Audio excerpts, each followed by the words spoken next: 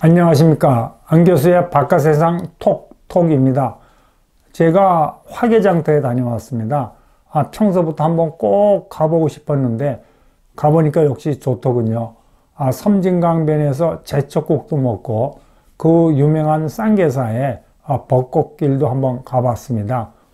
중국이 아, 전통적인 살라미 작전으로 남중국해에서 또다시 야곰 야곰 영토를 확장하고 있는 것 같습니다. 아, 이번에는 아, 필리핀이 아, 상대입니다. 어, 저 그림에서 보시는 것은 아, 필리핀이 점유하고 있는 윗선 환초에 아, 중국 어선 한 200여 척이 정박하고 있는 모습입니다. 아, 저 윗선 환초는 아, 필리핀의 배타적 아, 경제 수역이기 때문에 아, 필리핀이 강하게 항의하고 있죠. 근데 이제 중국이 베이징이 대답하는 거는 아, 그거, 우리 중국 어선들이 날씨가 나빠서 잠시 거기 그 윗산 한 채 정박하고 있는 거라고 그러죠. 아, 우리 전문 용어로 하면 이제 날씨가 나쁘면 이 배, 아, 어선들이 이렇게 피항하거든요. 이렇게 어느 항구나 어떤 정박지에. 그렇게 이제 중국은 이야기하는데 미국이 인공위성으로 거기를 분석해 보니까 금년 초부터 중국 어선들이 거기 이제 정박하고 있는데 3월 7일부터는 전혀 움직이지 않고 그냥 거기 버티고 중국 배도 있답니다. 어, 근데 숫자가 늘어났고 미국 측 분석에 의하면 한 220척으로 늘어났고 그 다음에 어선이 말입니다. 어선은 고기 잡는 배잖아요. 그럼 거기에 잠시 날씨가 나빠서 피하고 있더라도 날씨 좋으면 고기 잡으러 나가야 되는데 전혀 고기 잡으러 안 나오고 그냥 우리 속된 말로 말하면 짱 받고 거기 그냥 버티고 있는 겁니다. 저기 보시는 그림은 어, 인공위성으로 이렇게 볼때 어, 윗선 환초인데 저렇게 점점 점점 있는 게 중국 배들이 여기 아, 정박하고 있는 모습입니다. 예, 과연 중국이 이게 무슨 꿍꿍이 속일까요? 무슨 꿍꿍이 속이 있으니까 저러고 있을 겁니다. 그러니까 이 South China Morning Post는 아, 이게 무슨 이제 다시 그 윗산 환초를 중국이 점령해서 군사기지를 맹길기 위한 어떤 아, 전주곡이 아니냐 이런 식으로 이제 보도를 했고 제가 보기에는 이게 다시 아, 중국식 살라미 영토 확장 작전을 요번에 윗산 한초에 대해서 중국이 벌이고 있어요. 제가 이 첫째 이제 일단 무슨 이유로 무력이든지 뭐 지금 어선을 보더니 일단 점유한 거거든요.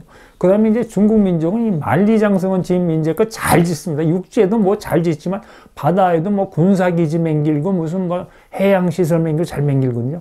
그 다음에 이제, 그 다음보다 이제 중국 국기 쫙 올려 자기 영토라고 주장하고 가까이 오지 말라 그러고 뭐 외국 경비정이나 상대국의 어선이면 막못 나가게 하고 막 그런 겁니다. 이게 이제 전통적인 중국의 살라미 영통 작전인데 어, 작년에는 인도하고 히말라야에서 벌이지 않습니까? 어떻게 이제 히말라야에서 중국의 살라미 작전으로 인도 영토를 야금야금 먹었나를 제가 설명을 드릴게요. 1962년에 중국이 악사이친이란 지역으로 무력으로 들어가서 2만 3천 평방킬로미터를 점령해 버렸습니다. 그럼 이제 인도하고 막 국경 분쟁이 붙었는데 거기서 인도하고 이제 타협을 해갖고 Line of Actual Control 했고 아 이제 우리 싸우지 말자. 요거를 경계로 우리 거를 하자 그랬습니다. 그러면서 2만 3천 평방킬로미터 일단 먹은 거죠 중국이. 살라미로. 2020년 작년에 중국군이 무슨 이유를 내서인지 이 Line of Actual Control 넘어가지고 9만 2천 평방킬로미터를 자기 영토라고 주장하면서 또 중국이 특기 있지 않습니까? 여기다가 뭐 텐트, 영국 콘크리트 구조물을 맹인 겁니다. 그리고 실질적 무력 변명을 딱 해버린 겁니다. 그러니까 인도가 뭐 열받아갖고, 야, 이거 너 뭐라고 철거 요구하다가 속이 뭐 군사 충돌이 붙었고, 뭐, 이 쇠 파이프로 때리고 그래갖고 인도 병사들이 희생하고 뭐 난리치지 않았습니까? 어, 그러면 이제 베이징이 항상 써먹는 마지막 그, 이 전략이 있지 않습니까? 새로 점령한 땅을, 네, 인도가 자기 땅이라고 주장하는 영토, 땅을 중국 거라고 간주해 버린 겁니다. 이게 중국의 영토예요. 너 이제 인도 들어오지 마. 그러면서 다시, 어, 이 영토를 높이는 넓히는 이런 살라미 전법이죠. 자, 그럼 남중국해에서 지금 현재 그 미국의 분석에 의하면 15개 중국이 저런 해상 기지를 맹기렸는데 필리핀에 대해서 어, 어떻게 그 살라미 전법으로 야곱야곱 영토를 확장했는지 아, 제가 설명을 어, 드릴게요. 저 지도를 자세히 보시면 처음에는 그 1995년에 미스치피 환초에 저런 해상 구조물을 졌어요.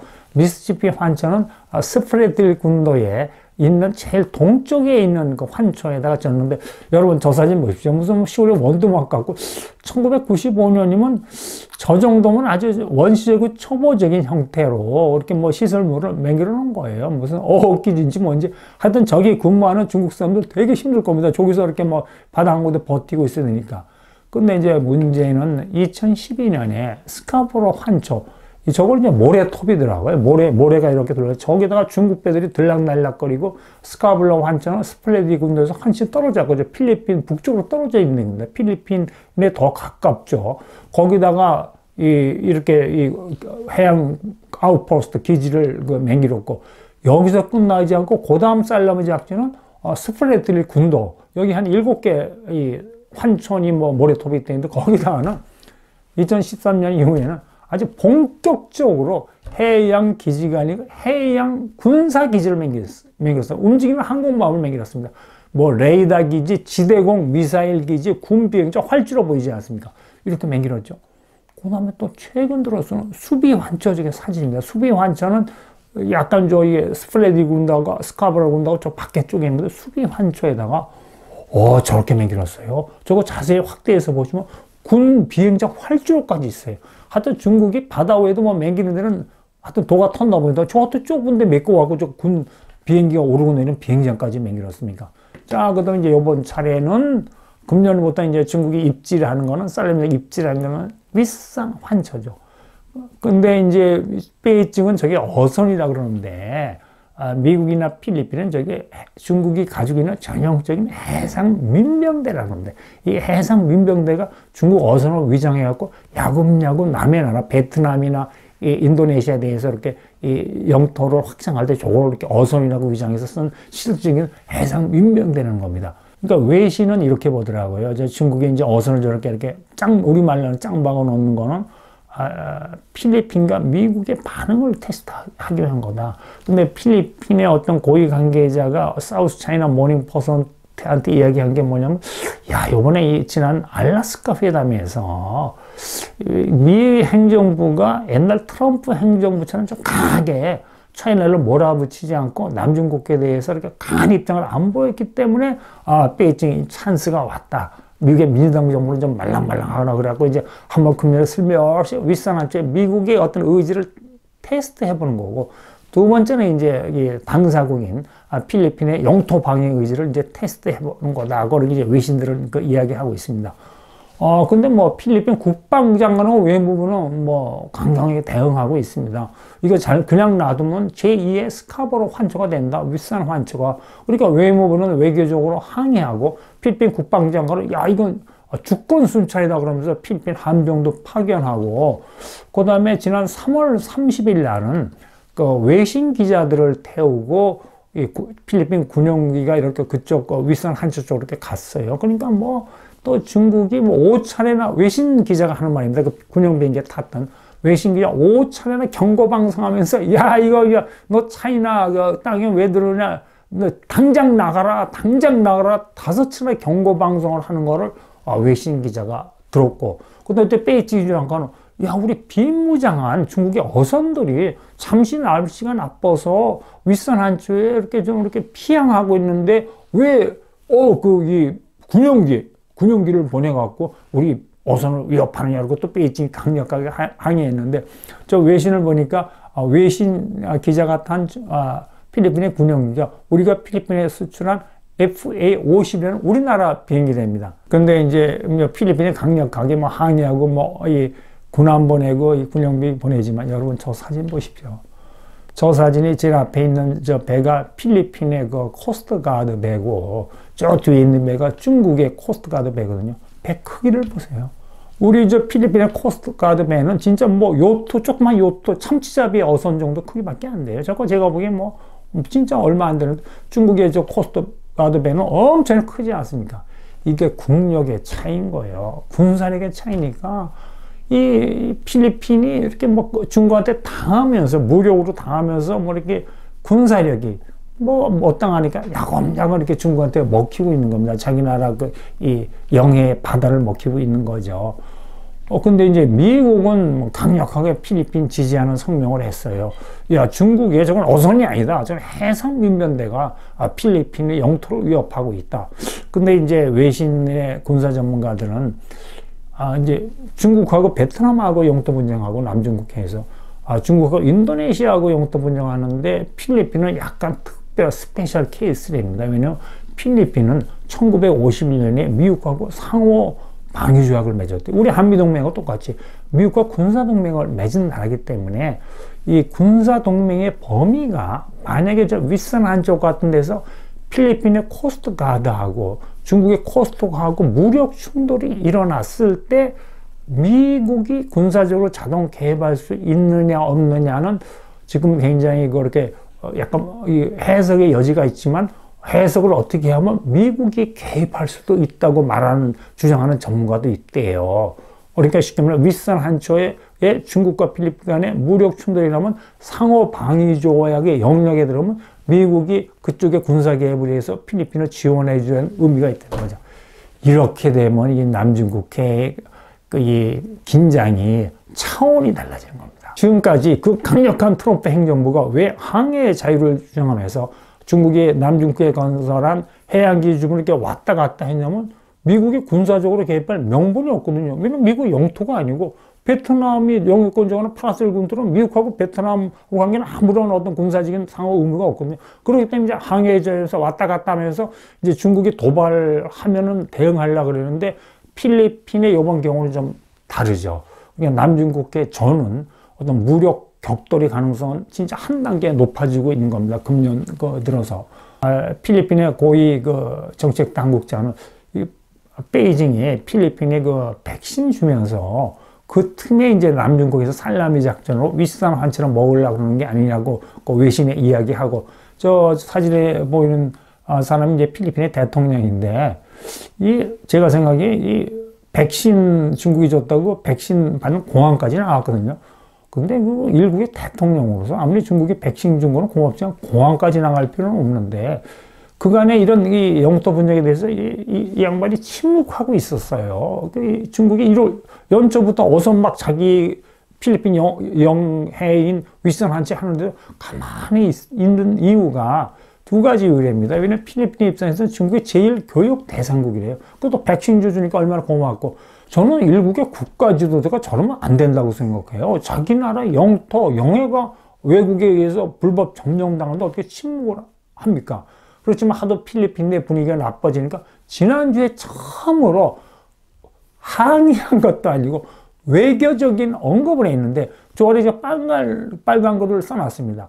이 필리핀 대통령이 어, 필리핀 주재 중국 대사하고 이 문제에 대해서 이야기, 이야기를 톡 이야기할 거라고 이야기하고 근데 여러분 또 한 수 더 떠서 이 필리핀의 대통령 대변인이 외신에 대해서 뭐라고 이야기했냐면 uh, There is nothing that cannot be discussed among friends. 제가 이 말 들으니까 진짜 어이가 없어서 웃음밖에 안 납니다.